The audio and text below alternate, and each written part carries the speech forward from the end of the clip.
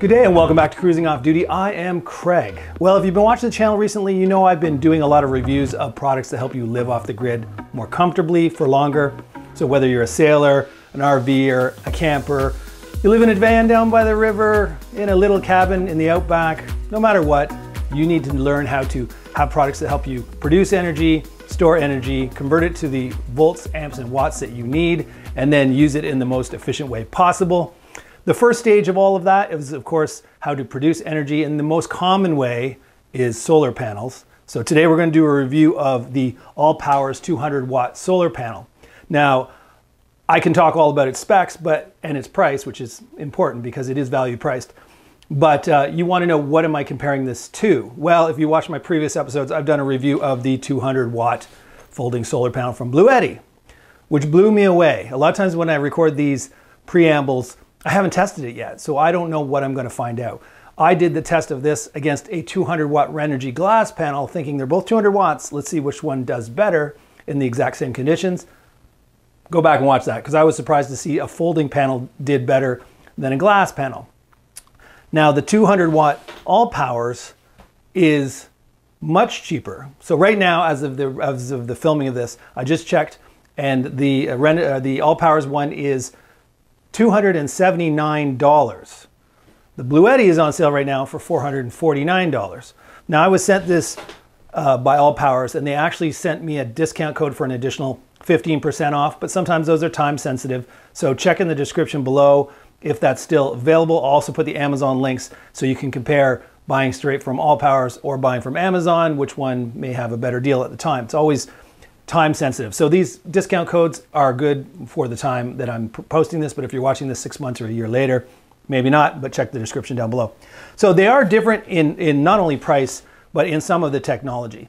The Bluetti is a monocrystalline panel, and the All Powers is a polycrystalline power panel. Now, in a lot of cases, polycrystalline is considered to be the inferior technology, but they're both rated for 200 watts. So, in theory, if it still gives out 200 watts in the same sun conditions, then all you care about is price, right? The only other thing is the coating. Uh, they are, this one is ETFE coated, which is the common uh, acronym you hear for that coating that makes it not haze over with age, scratch resistant, all that. The All Powers has one uh, coating called PET, which I haven't really heard of, but it says it's waterproof and all the same stuff that the Blue Bluetti product claims. I just think ETFE might be more of the gold standard and PET is not something I'm used to. You can kind of see a difference too in the in the panel itself. Uh, the the Bluetti one has that kind of marbled look and the All Powers one is more of a smooth surface. So there you go. ETFE coating, PET coating. This is definitely smoother to the hand. When you rub it, it's very smooth like glass. This is more like uh, those pebbled feeling. Uh, ETFE is supposed to keep that clear, transparent look for a lot longer. But let's be realistic here. These fold-out panels are not really designed, even though they say they're waterproof to rain and elements and yada, yada, yada. There's still a kind of a nylon cloth that allows it to fold. And if you just left this in your backyard 24 hours a day, seven days a week for years, of course the nylon will break down. And sure, this might stay clear, more clear than this maybe, if PET is not as good as ETFE. But you shouldn't be leaving your folding panel out day and night no matter what. These are meant to be used as needed kind of panels, not the glass panels where you can mount them somewhere and just leave them and forget they're even out there. These are supposed to be something you take with you camping or uh, unfold if you're beside an RV to get some extra power. Maybe you have some glass panels on your RV on the roof, which are permanently there, and then these are just supplemental. Let's talk about other parts of the technology. This is 22% efficient claimed, and this is 23.4% efficient, which means the amount of solar energy it can track, uh, trap and send to your battery. So in theory, this should outperform this. Again, haven't tested yet, so let's see. Is it a big enough difference to justify the fairly substantial percent jump in price? We'll see. Other than that, this one, the All Powers is a little lighter at 6.3 kilograms. And this one is 7.3 kilograms. So one kilogram heavier. Both of them, when you unfold them, are four panels. Um, this one's just a little bit thicker, a little bit heftier. Oh, another thing that might add some weight. On the back of both is the MC4 connectors. They look identical on this side. The only difference is this is longer. This is three meters long, which is a little over six feet. And I believe this one's only three feet long, which means if you're gonna put this to your solar generator, and that's what we will be plugging these into, is a solar generator. In this case, for the All Powers, I have the All Powers S2000, and I'm gonna plug both panels into this, see what it gets. And then I also have my Bluetti AC200 Max. I'm gonna see if the same two panels plugged into a different solar generator will get a different result.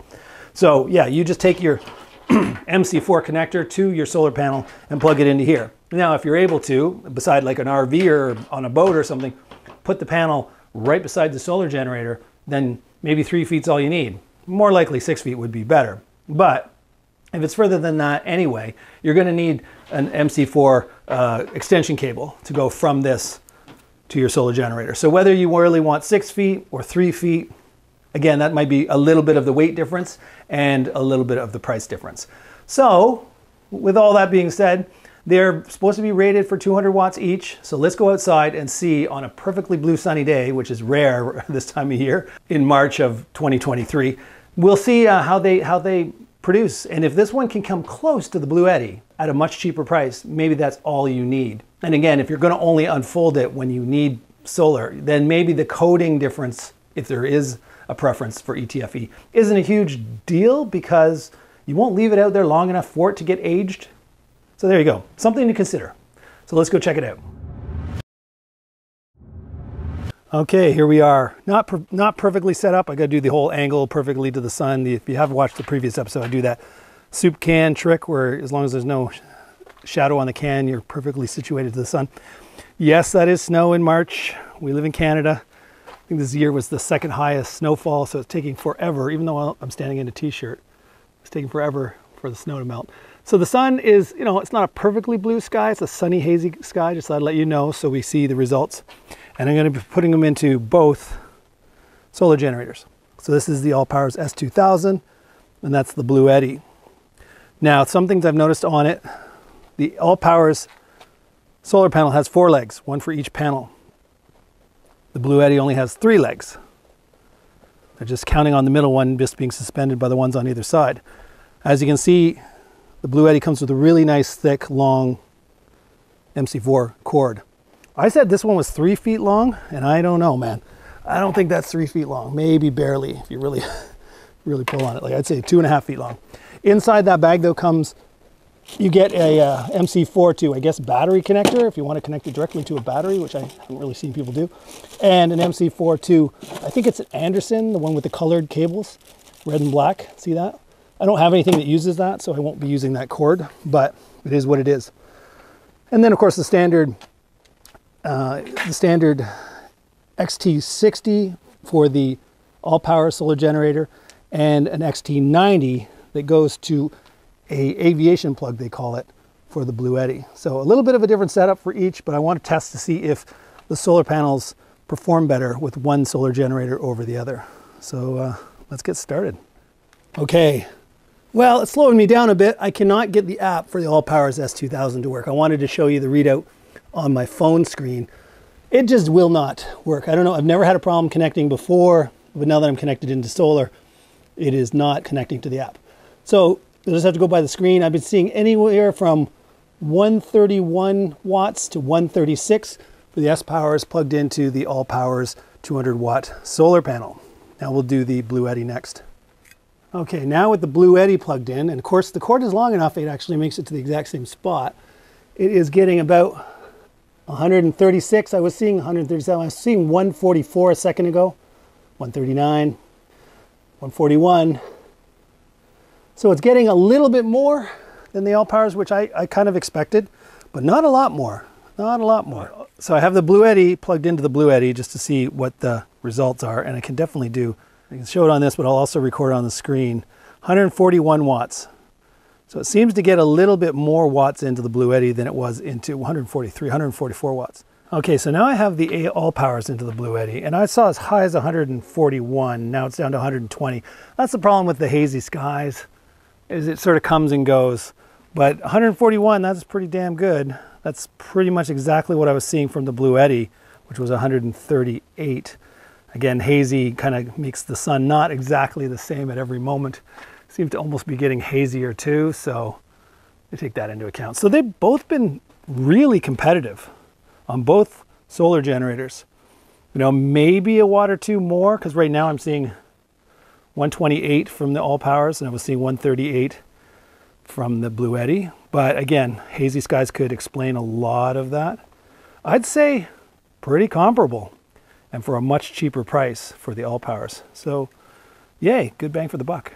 So there you go. There was the testing of the All Powers 200 watt versus the Bluetti 200 watt.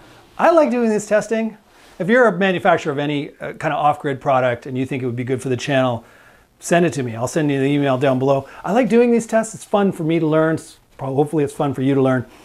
Things I didn't expect. Last time the Bluetti folding solar panel beat the glass panel, which I wasn't expecting. And this time I was expecting this to be vastly, well not vastly, inferior in terms of its output to the more much more expensive Bluetti product because of the 23.4% efficiency versus 22, you know, the higher ETFE coating versus PET, whatever that means. And I just figured you get more bang for your, you get more, you spend more, you get more. Um, but no, I mean, maybe a couple of watts difference between these two. I, I mean, it's hard to tell with the hazy sky, as I said.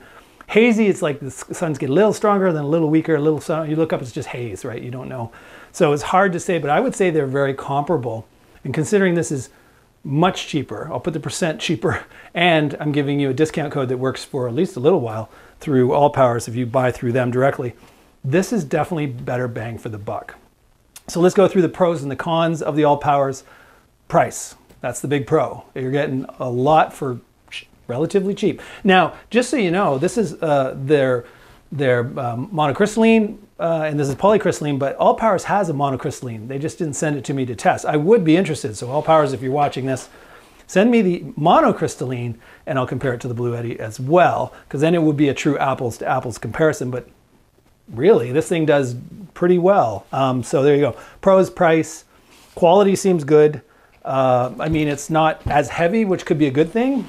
Uh, I don't know if you feel like sometimes heavier means more more quality cells or whatever, and that ETFE coating versus PET will over time, and I won't be able to test this, over 10, 5 years of use, uh, you know, taking it out, putting it in, taking it out, will this break down quicker than this will? Hard to say, hard to say, but something to keep in mind.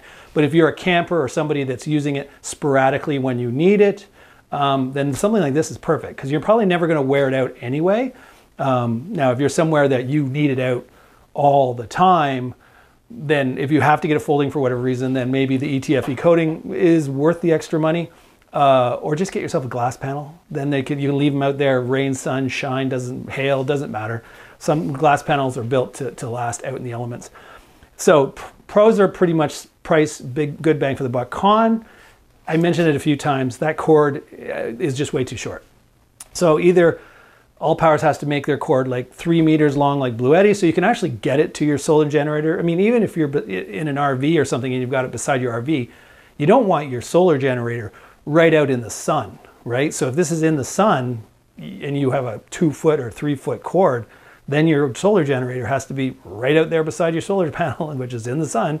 And I don't want to leave my solar generators in the sun to get, you know, baked. So either All Power should make it longer or they should include in their bag of cords that they give you a little MC4 connector extension cord, like a five foot, six foot extra. So you collect onto the two and a half foot one that comes into the back. And I wonder if they didn't make it two and a half just to keep the weight down.